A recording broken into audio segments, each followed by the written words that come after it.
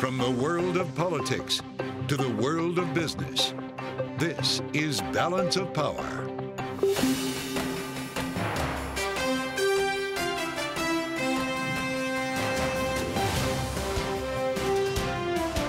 Live from Washington, D.C. From Bloomberg's Washington, D.C. studios to our TV audiences worldwide, welcome to Balance of Power. Alongside Kailey Leinz, I'm Joe Matthew. Today, ready to fight. That's what China's military says after it conducts three days of military drills around Taiwan following President Tsai Ing wen's visit with Speaker Kevin McCarthy.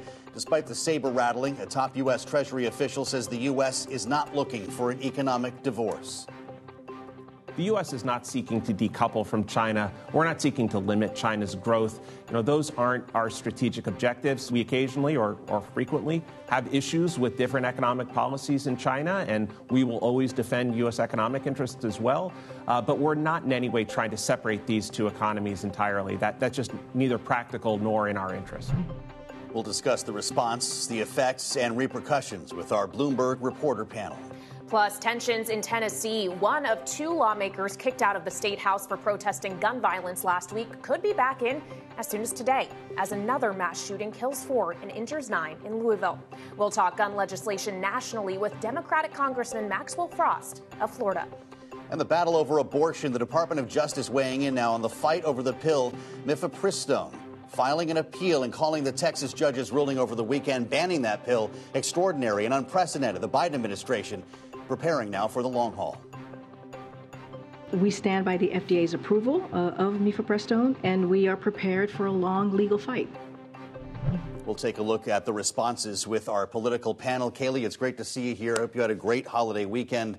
There's been no let up in the news, certainly, from Friday night with those rulings that we're going to talk about on the abortion pill to a pretty hairy weekend when it comes to geopolitics. A much stronger re- response from China than we expected. In, indeed, and a much stronger response, perhaps delayed after the meeting between House Speaker Kevin McCarthy yeah. and the Taiwan's President Tsai Ing-wen last week. We thought the China's response was actually muted, and then it mm-hmm. really ramped up over the weekend. And it Taiwan sure saying that this is basically on par with what happened in the aftermath of then Speaker Pelosi's visit to Taiwan last year. It Certainly looked a lot like it. And of course, uh, the leaks. We're going to talk about that first. The Department of Defense probing leaks that detail the U.S. spying on other countries, including an assessment of weaknesses in Ukraine's military. That's where we begin with Bloomberg's Enda Curran and Wendy Benjaminson with us here at the table today. And it's great to see you. Welcome to Washington. The response today from the White House, we should probably hear this first, and I'll get your responses. We don't seem to know a lot about what happened. White House National Security Council spokesman John Kirby today in the White House briefing room. Listen. At this point, do you believe the leak is contained? Are there more documents out there that have not been released publicly? Is this an ongoing threat? We don't know. We truly don't. Okay, so we're talking about potentially hundreds of documents that appeared on social media. We're not sure exactly where they came from, and there's no sense if we're ever going to find out, is there? Well, it's certainly not a good look for the US when you consider they are leading the alliance against the Russian invasion of Ukraine. And of course, the signal now to the global audience is that uh, US intelligence isn't secure in its own right here. And of course, the, the subplot amongst that is also there's been apparently some US snooping of allies, for example, in South, South Korea's in the mix there. So I would say that at a time when the US is trying to build alliances around the world, both on Ukraine and, of course, to keep keep allies on side over China, I think it's pretty bad optics that this leak is out there, and it, it doesn't say a lot for the security of the US's own intelligence. Well, and on the subject of optics, Wendy, I mean, this comes just what a few months after there was all the concern around the spy balloon that China had floating over the U.S., a lot of question around that intelligence gathering, and yet shedding light now on the intelligence gathering efforts of the U.S. government. I can't imagine that helps the already very tense relationship between Washington and Beijing. It, I'm sure it doesn't, even though we don't know where, how this information got out online maybe China, maybe Russia, maybe someone else. We just have no idea. As John Kirby kept saying at the briefing, I mean, I don't know was his basic response to do everything as they continue, they say, to brief the president on what I don't know. But they, um, but yes, it's it's awkward as Biden heads to Ireland. He's going to meet with British Prime Minister Rishi Sunak, who was spied upon by the U.S. or the U.K. was. That's going to be an awkward moment. Wendy points us to the idea of misinformation here, and uh, that this this could have come from uh, Russia or China. It could have been doctored and then re released. These are becoming pretty complicated times when it comes to classified documents and, and following the trail. Or it could have been an accident. Maybe someone inadvertently re- released it somehow and okay. then it was picked up. You know, as, as Wendy just said, we don't know. But the, I think the end point is that the optics of it are not good, I think, for the US, given how sensitive all of this is at the moment. So sensitive over the Ukraine, trying to keep everyone on board for that. So sensitive on China and Taiwan. And yet here we are having these leaks whereby you would have allies saying, what if we uh, share our assessment or intelligence with you? What are the chances of it being leaked? So uh, it's not a great look. And just quickly on the subject of Taiwan, because as Joe and I were just discussing, things seem to have escalated over the weekend in terms of the Chinese posturing uh, off that shore. What should we glean from the fact that we did get a delayed, rather dramatic response from the Chinese government. As they had said, they were prepared to respond uh, in that fashion, didn't immediately and then ultimately that is indeed what we saw transpired. What signal is that sending? Well, there was a false dawn. President Macron was in France. China didn't immediately respond. Everyone thought maybe they're just going to let this one slide, but they didn't let it slide. And that was a pretty serious response over the weekend, encircling Taiwan the way that they did. Uh, I would say it's strange how, how all of his language is being normalized. I mean, I've just come from that part of the world, and the entire daily conversation is all about Taiwan, East China Sea, and the risk of conflict. It's all been normalized to the fact now that people are used to the fact that China is responding in this way against Taiwan. And once upon a time, that would have been a major shock.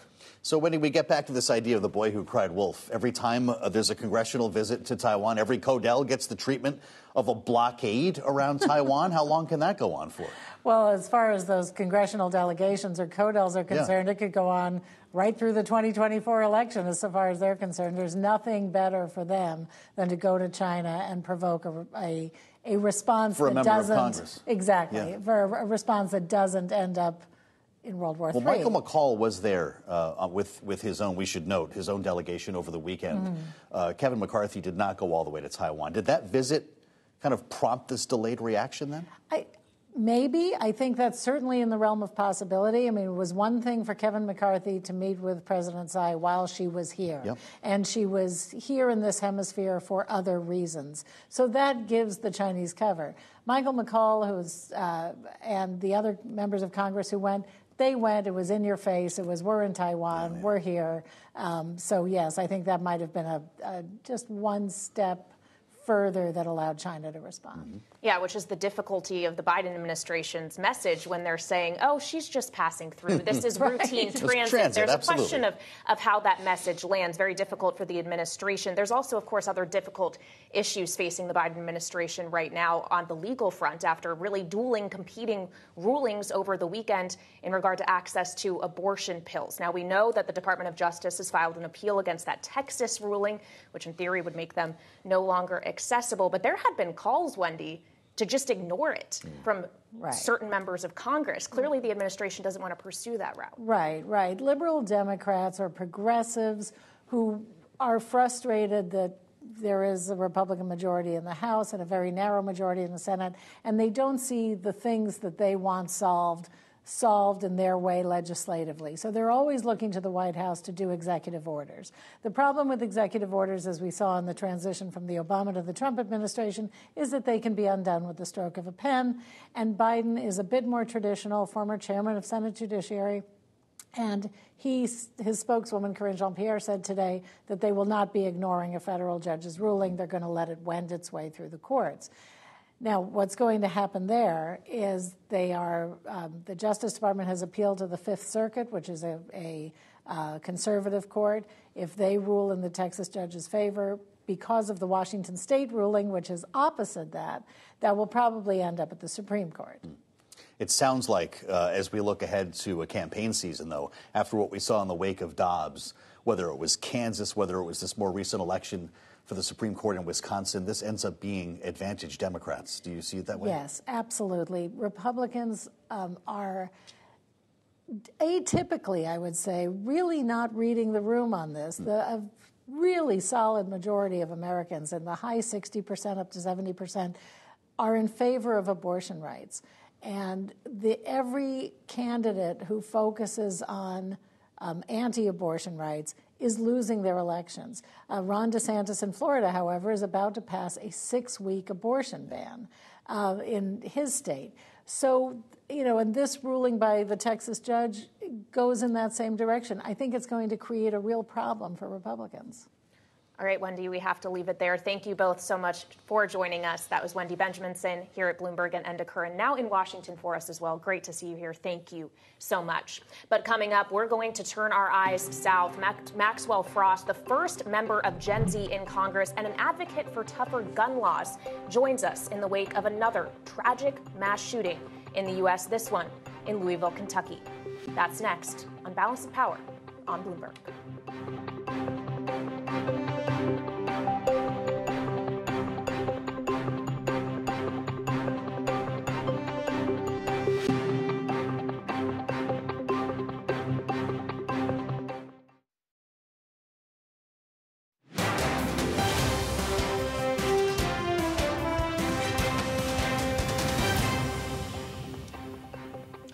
This is Balance of Power on Bloomberg Television. Just two weeks after children were shot and killed at a Christian school in Nashville, Tennessee, another mass shooting today in Louisville, Kentucky.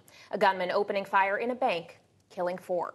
We're joined now by Congressman Maxwell Frost. He is the youngest member of the U.S. House of Representatives and ran for office in the wake of the Parkland shooting in Florida. Congressman, thank you so much for being here on a day in which we have lived many of like many like them before. There's been, I'm sure you're familiar with these statistics, more than 15, at least 15 mass shootings in the U.S. in the state of April, or the month of April, 146 year to date.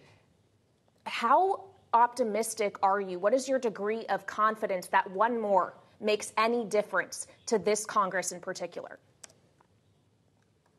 Not incredibly high for a lot of the members of this Congress. And thank you so much for having me on. You know, I, have been in this movement for a decade. I got involved in the fight to end gun violence when I was 15 years old for one simple reason I didn't want to get shot in school.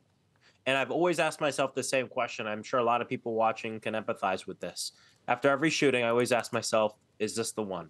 Is this the one that'll finally push these politicians that are bought and paid for by the NRA and gun lobby to actually do something. And what I've learned over the last several years is there are just many politicians that we have to just vote out and that we have to put hmm. people in who actually give a damn about the lives of our children and the lives of our people more than they do corporate profit. The majority of this country is for things like universal background checks. The majority of Republicans and NRA members are for universal background checks. So it brings the question why isn't it law? Well, because bipartisanship for the rest of us means what we can agree on. And bipartisanship on this issue in Congress means what the NRA is okay with. And we can't stand and we can't accept politicians who will uh, side with the NRA instead of the American people. We lose 100 lives a day due to gun violence each one of those deaths is a policy failure. Congressman, I want to bring our viewers inside a hearing that you were a part of just a couple of weeks ago before we ever got onto this conversation and these most recent shootings. This was a Judiciary Committee hearing, and it was involving the ATF and the role that, that it is playing. Uh, I believe the committee called it the ATF's assault on the Second Amendment, just, just to be clear. It was at that hearing that the parents of Joaquin Oliver were thrown out uh, for protesting, and you had some passionate words before you left that hearing yourself. Let's listen. Today's hearing is about distracting the people from the truth. I, for one, believe this has nothing to do with policy and everything to do with politics. And I won't be listening to another second of it, and I wouldn't blame you all if you made the same decision. I yield back. Chair recognizes Representative Higgins. Congressman, tell us what you heard from your colleagues, specifically your Republican colleagues on the panel that day. Our Republican colleagues decided to take that entire hearing and use it to spread lies and spew lies, not just about the ATF, but about uh, good measures to end gun violence. And they do this because it is a wedge issue for them. It is something that they use to activate a voter base. They don't give a damn about everyday gun owners. You know, the NRA is not an advocacy organization. It is a lobbying front for gun manufacturers. And it's but all did about they engage you, Congressman? I don't I'm sorry to interrupt, but I just this is where most people leave off. Was there a conversation off camera that day between you and the other members of that committee? For better or worse, or did everyone go home? No, there wasn't a conversation, and we. I want these hearings to be a place where it's a place of conversation, a place of learning. But what you'll see, and that was oversight and judiciary committee, but and I sit on the oversight committee, is what you'll see is they're not interested in the conversations. They're not interested in facts. They're using these committees as a TV tool to build up their messaging for 2024. The next two years are one big campaign for the Republican majority in Congress, especially on that committee. They weren't interested in having the conversation. Look back, roll the tape on that entire hearing. It's just them comp- grilling one of the witnesses. Uh, some of them didn't even ask any questions of the witnesses, just use their time to spew lies, and they're not interested in the conversation. That's part of the reason why when Patricia Oliver stood up and said one thing, you took my son, and sat down, the chair of that committee disgraced the room by saying, get that woman out of here, or something along those lines. That's not how we work in this country. You give a warning or something, not, not to the family of Joaquin Oliver who was shot by an AR 15 uh, in his classroom and died in a pool of his own blood because of the inaction of the same politicians in that room. Look, I'm okay with having discussion. But a lot of these folks, uh, especially the Republicans on this committee, understand how disingenuous this conversation is from their point. They're not interested in talking about it. They want to label us as gun grabbing liberals and move on to get votes when that's not what we're talking about. The legislation we're putting forward is actually championed by the majority of people in their own party. So why aren't they for it? And it all goes back to politics versus policy. Well, if we could focus on another area of policy and the politics around it, Congressman, over the course of the last, uh, well, really, you could argue months, but last several days has been access to the abortion pill with competing rulings here in the U.S. And this comes as your Florida, within the next week, maybe two, could see a signature on a bill that would ban abortions after six weeks. As a representative from Florida, as well as a representative of the youth, being the youngest sitting member in the U.S. House right now, how divisive is this issue in particular, and how do you see it affecting your party as well as the one across the aisle?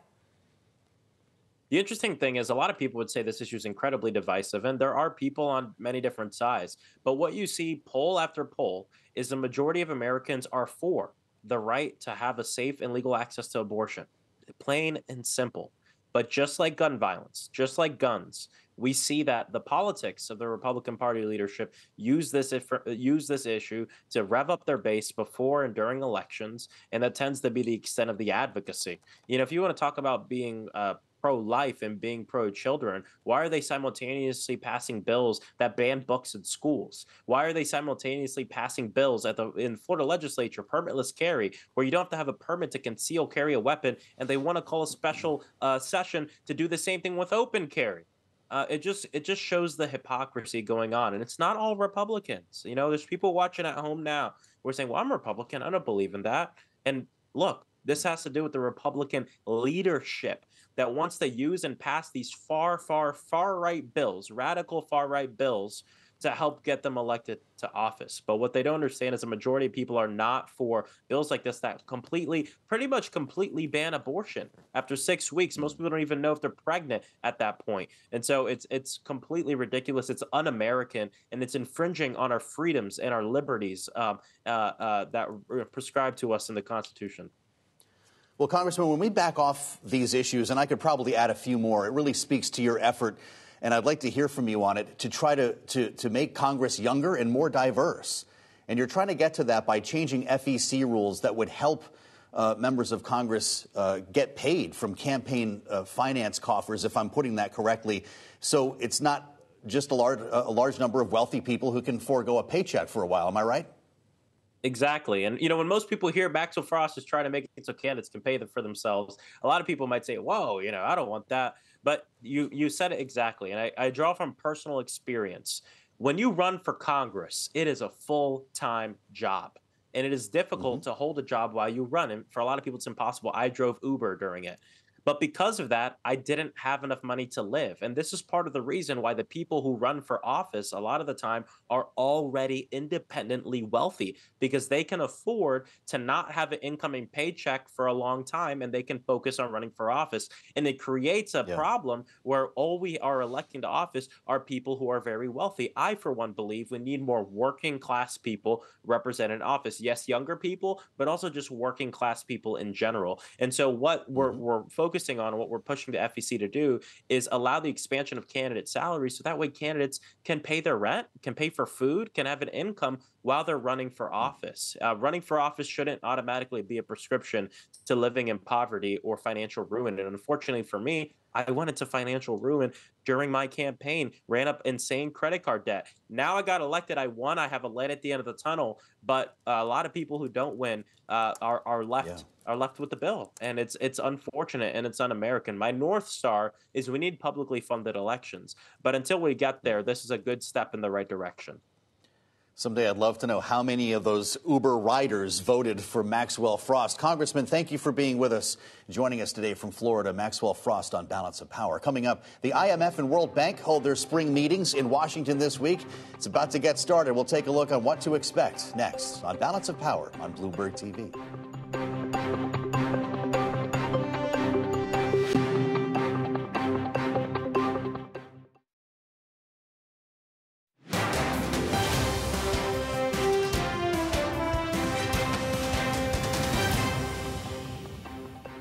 Global financial leaders meeting this week in Washington with questions about the trajectory of our economy and the status of our relationship with the world's second largest economy. Here to discuss is our chief economist, Tom Orlik. Tom, it's great to see you. Uh, the China question is going to be hanging over these IMF meetings starting right now, aren't they? So, one big positive which China is bringing to the global economy this year, Joe, is growth. Mm-hmm. Um, US, we think, has a recession in the second half. Europe was lucky to dodge a recession at the start of the year. China, because of COVID reopening, we think is going to have 5.8% growth this year, a big boost for the rest of the global economy. Mm-hmm. At the same time, there are some vexed and challenging questions for the rest of the world as they grapple with China's sudden rise. Um, high on the list at the IMF meetings um, how China engages in debt settlements. Mm. Countries from Sri Lanka um, to Pakistan um, to a number of African countries, Zambia among them, wrestling with huge debt, much of it owed to China, and a very difficult conversation taking place here in DC and between DC and Beijing on how China and other people who are holding that debt should help these countries move towards a resolution. Really interesting, Tom. Sorry it was so short, but thank you so much, Tom Orlik of Bloomberg Economics. Really interesting uh, warning from the IMF out today as well about how a decoupled U.S. and China could ultimately hit 2% of global GDP. Well, on the subject of economic growth and what it means for energy demand, former U.S. Energy Secretary Ernest Moniz will be here with us to discuss that, nuclear power as well, and more. This is Balance of Power on Bloomberg.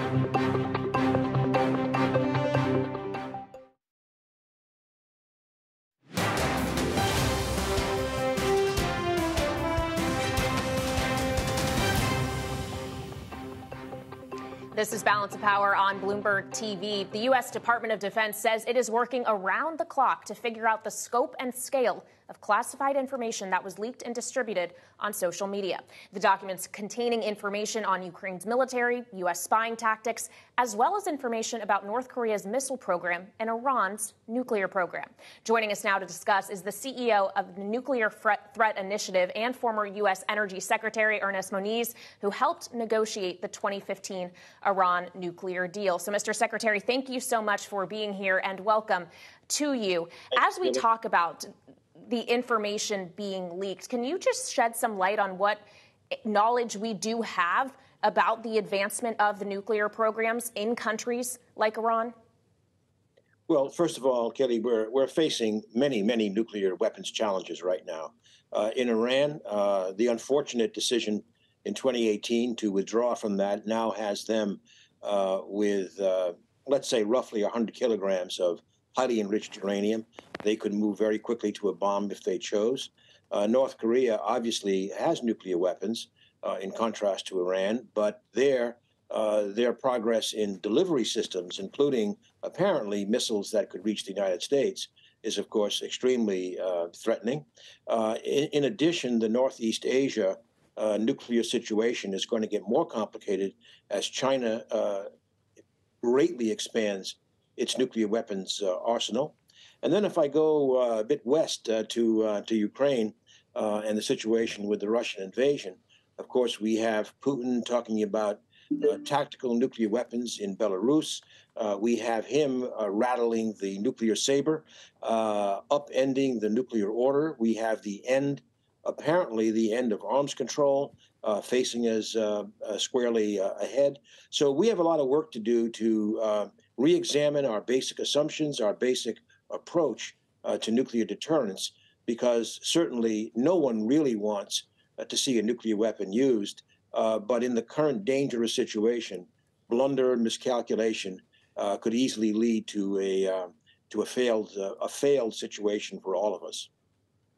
It's a scary thought. I think you're referring to Vladimir Putin's decision to suspend participation uh, in the new START treaty, Mr. Secretary, with, with regard Correct. to arms control. Some have suggested that Russia wasn't playing along to begin with anyway. How much of an added risk is that for the U.S.?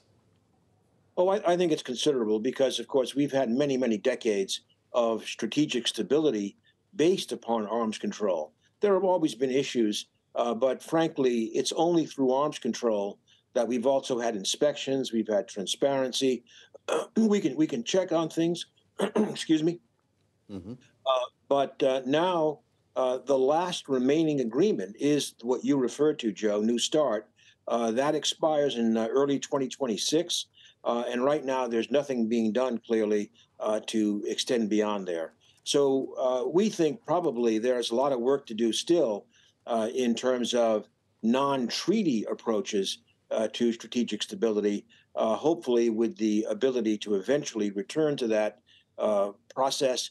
and frankly, to return to it not just with Russia, but we're going to have to consider China's growth, pro- probably the P5, uh, that is Russia, China, United States, UK, and France, uh, the 5 mm-hmm. recognized nuclear weapons powers in the Non-Proliferation Treaty, are going to have to find a way uh, to get probably engaged in some kind of multilateral discussions uh, because strategic stability is in all of our interests. How hopeful are you, though, that those discussions can yield any outcome? As we know, there has been ongoing conversation around whether there could be some form of return to a deal with uh, Iran, for example. It seems that that is very hard to find progress in. What is your degree of confidence that some progress on agreement on nuclear weapons can be made, and what role does the U.S. have to play in that? Well, first of all, I think in Iran, uh, as you've said, I very much doubt that the JCPOA, the Iran agreement, will come back uh, in its previous form. Uh, we're going to have to look at uh, at other ways of uh, addressing Iran's regional um, um, mischief, uh, as well as their their nuclear program. I would say there, what I find potentially a foundation for doing more is, for example, the uh, progress made in restoring Iran Saudi uh, relationships. Uh, maybe there's a Gulf area uh, nuclear program that we could pursue there. With regard to, uh, to Russia and China, uh, it's going to be a while, clearly. there are some steps, for example, former Senator Sam Nunn and I recently, last week, published in Foreign Affairs a step that we believe could be practical in terms of addressing uh, the issue of blunder. Uh, it's in all of our interests uh, to internationalize uh, that with China, UK, France, etc. Uh, so there are some steps that we can take. But in terms of a full-fledged arms control, uh, it's going to be years, I think, until trust, sufficient trust, can be rebuilt to get serious negotiations going with Russia. And China has always been very reluctant to get into uh, nuclear arms uh, discussions, uh, mainly because they've had such a small arsenal compared to ours and compared to Russia's. Of course, if that changes, it's a I suppose some kind of silver lining that maybe the opportunity for discussions there will, will open up. Uh, but it's a very, very dangerous situation. We'd love to ask you while you're with us about refilling the Strategic Petroleum Reserve, knowing that there was at least a brief opportunity to do so at profit a couple of weeks ago. Citigroup's Ed Morse tells us prices should drop below OPEC's preferred price. Listen. Yeah, we think prices could go down uh, much below the preferred OPEC plus price of 80 to 70, and even touch below that. Uh, we think there'll be market mechanisms at work to kind of work in the opposite direction. Yeah. Uh, that includes the U.S. buying of strategic uh, uh, petroleum reserve oil. includes China accelerating its its inventory. Of course, a barrel of oil was selling for something in the 60s just a couple of weeks ago. Did we miss an opportunity? Well, we had said uh, the Biden administration had said that we would start uh, refilling uh, the petroleum reserve when prices went below mm-hmm. 70. They were pretty briefly below 70, I have to say. Uh, but I'll I'll say, Joe, I think a bigger problem, and this was the case when I was secretary. Uh, the the Congress um, uh, did not, uh, I think, uh, put enough emphasis on energy security issues at that time. Now, of course, there's a very very different view. But the reality is, when I was secretary, and I complained about this to committee chairs and the like, that they started to use the the petroleum reserve, frankly, as a piggy bank to address other issues, important issues, but not connected to energy and security. For example, uh, addressing uh, health health research, cancer research, uh, was partly funded for by uh, by writing a uh, an IOU against the against the petroleum reserve. Now we wish we had those hundreds of millions of barrels uh, back in the reserve. so um, I think Ed Morse is right that prices could drop lower, but we don't know it's uh, it's really going to de- depend, I think, very much on the great uncertainty in uh, in in demand. Uh, we just heard on your program uh, that uh, China may uh, start growing again, increasing demand, but the West may go into recession, which would obviously suppress demand. I think we just don't know. but as if prices do drop, I would certainly support getting getting the SPRO back to a useful tool. Right now, it's been depleted, and there are further liens on it, as I said, from Congress, uh, that if we had another major uh, issue to deal with, uh, we would be severely compromised with the current size of the petroleum reserve. Mm-hmm. Ernest Moniz, CEO of Nuclear Threat Initiative and former U.S. Energy Secretary, we thank you for the insights. It sounds like they should have been doing some buying. Yeah, perhaps, or perhaps they should have just been using the strategic petroleum reserve differently all along than just to manage prices at the yeah. pump. Well, and we're, of course, walking up on the summer driving season.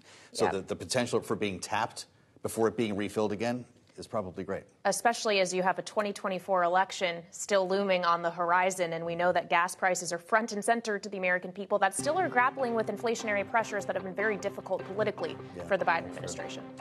Coming up, We'll have a lot more on this. This is Balance of Power on Bloomberg TV and radio.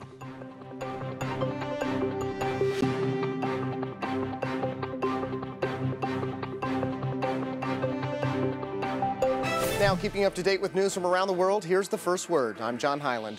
In Louisville, Kentucky today, police say a 23-year-old used a rifle to kill four people at the bank where he worked. At least eight other people, including two police officers, were wounded. Police exchanged gunfire with the shooter who died. The state's governor, Andy Beshear, said one of the victims was a close friend of his. Donald Trump's new accounting firm has agreed to hand over documents subpoenaed by the New York State Attorney General in the state's $250 million civil lawsuit. Whitley Penn says it will provide all information related to the start of the business relationship with the Trump Organization and all records related to Trump's statement of financial condition. Trump and three of his children are accused of inflating the value of assets of the family's real estate business. Iran accused the U.S. of warmongering after the American military said in a rare disclosure that it's deployed a nuclear powered submarine in the Middle East. The vessel will support the Bahrainian based Fifth Fleet. Tensions between Washington and Tehran have flared lately, with Iranian proxies launching more attacks on American troops and their allies in Syria and Iraq. And former Italian Prime Minister Silvio Berlusconi is showing signs of improvement. That's according to his doctors at a Milan hospital who say he's still receiving intensive care treatment. The 86 year old was hospitalized last week to treat a pulmonary infection linked to chronic leukemia. Berlusconi is Italy's, Italy's longest serving former premier. Global News, powered by more than 2,700 journalists and analysts in more than 120 countries. I'm John Hyland, and this is Bloomberg.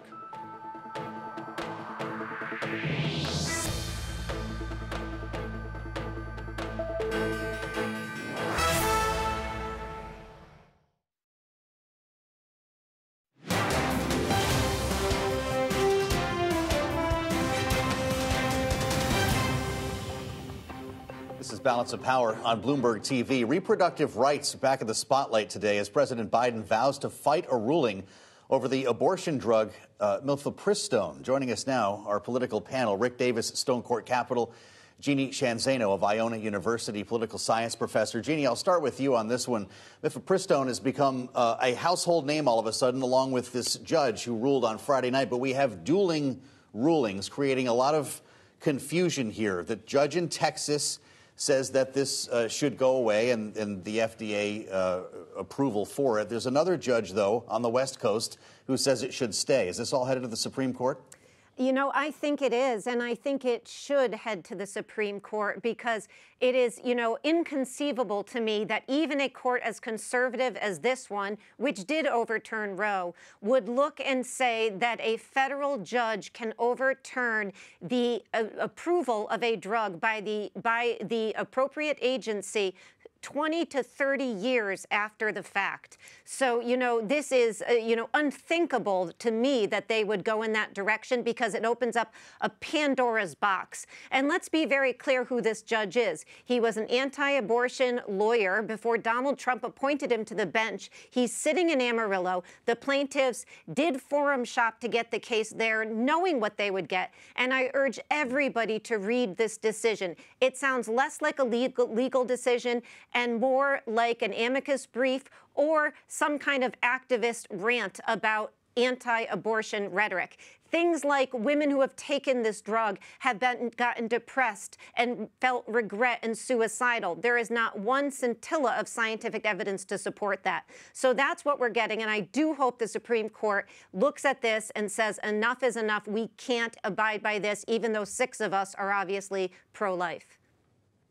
Well, and of course, you had members of Congress on both sides of the aisle in the aftermath of this, from AOC to Nancy Mace, saying that this should just be ignored. The Biden administration, though, says they are not going to do that. Take a listen to the White House press secretary, Karine Jean Pierre, earlier.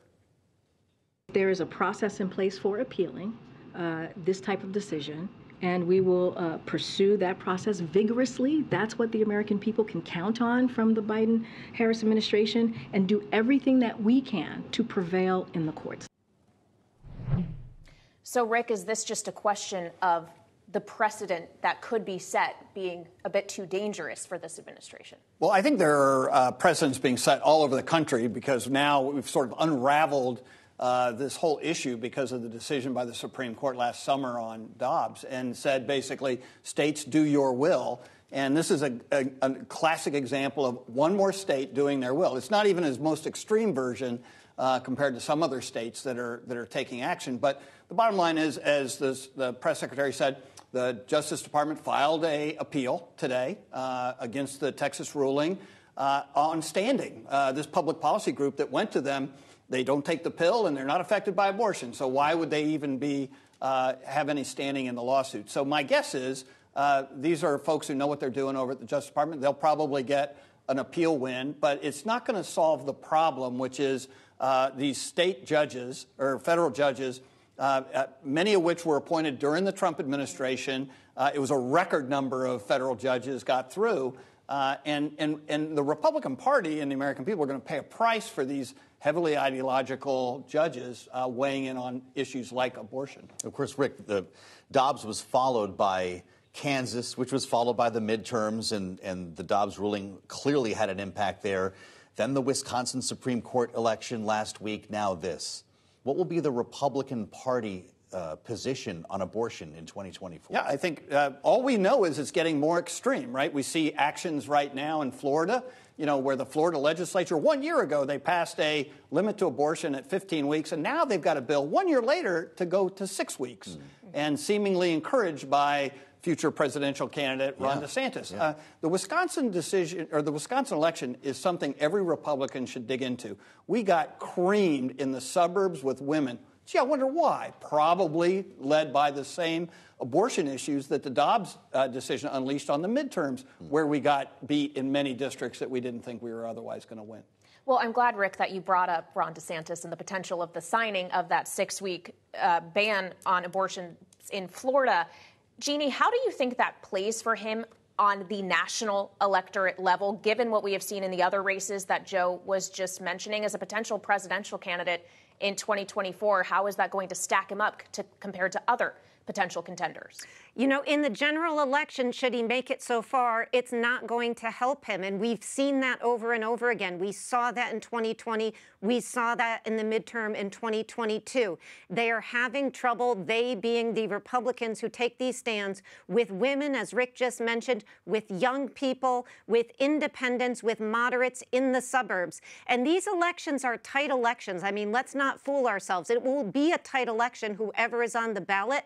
But that's why losing these moderates, losing women in the suburbs is going to matter so much. But I think what Ron DeSantis is doing and what he's setting himself up to do his campaign is they are trying to play to the base right now, hoping to get themselves into and through the primary. And then we may see him pivot a little bit. But pivoting on something like a six week ban on abortion before many women even know that they are pregnant is going to be very, very tough to do. So I think he's setting himself up for trouble in the general general election should he go forward in this regard. And let's not forget about his recent movement on gun control. Same issue there.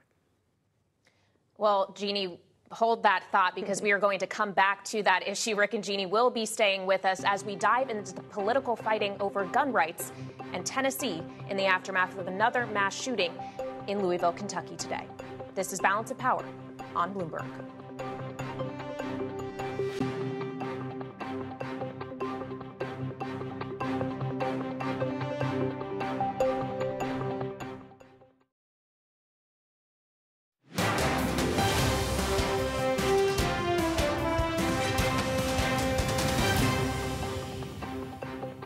This is Balance of Power on Bloomberg Television. Happening moments ago, the Nashville Governing Council voted unanimously to return expelled black lawmaker Justin Jones to the Tennessee House. That's, of course, after he and another fellow lawmaker were ousted after protesting uh, related to gun violence on the House floor last week. Let's welcome back Bloomberg contributors Rick Davis and Jeannie Zaino.